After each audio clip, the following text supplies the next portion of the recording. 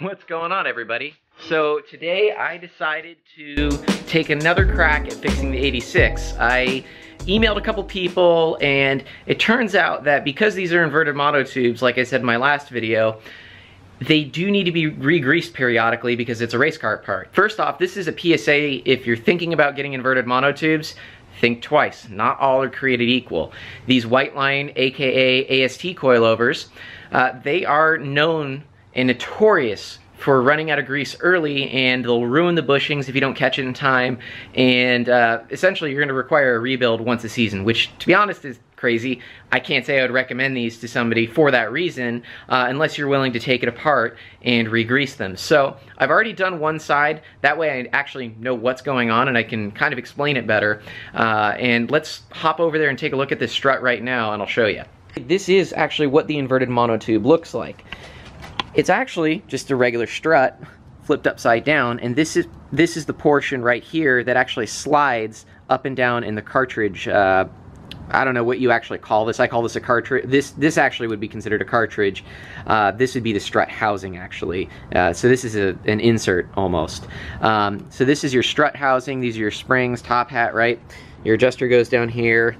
Teeny tiny bump stop.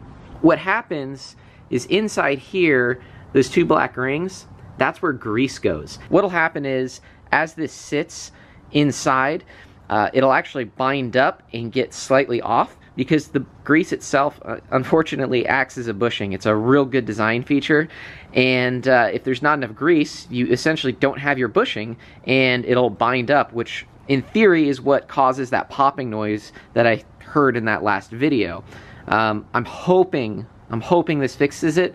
So let's uh, put this back together. You want to pack these rings full of grease, throw a light coat of grease on this, and hopefully that does it. So fingers crossed, and uh, hopefully this video will end up with a thumbs up. Let's put this back together.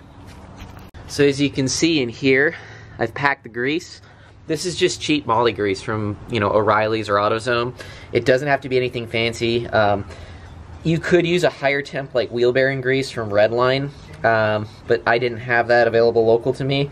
I just went to the store yesterday and got stuff, but uh, that's basically what you want. You want a nice, good pack of grease in there. I need to get a little bit more in the bottom rung, because unfortunately what happens is this gets pushed out over time, because these bushings aren't tight enough of a fit.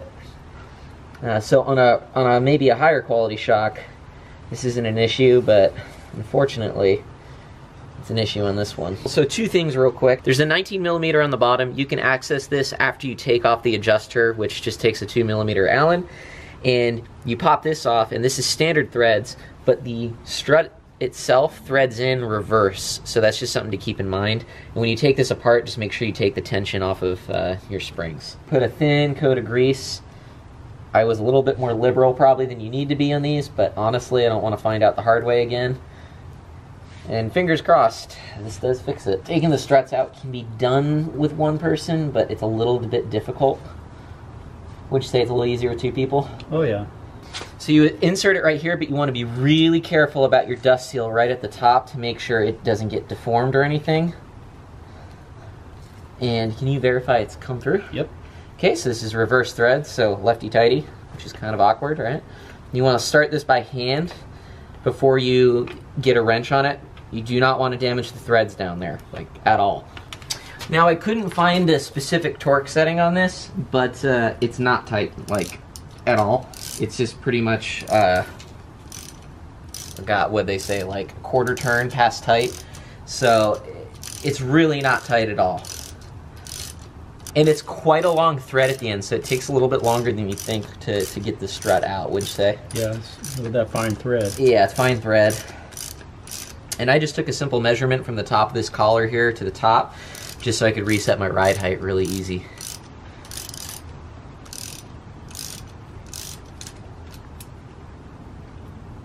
And that's it, that's enough. Okay. I'd like to just be able to align this tomorrow and be done with it. Can you hold that?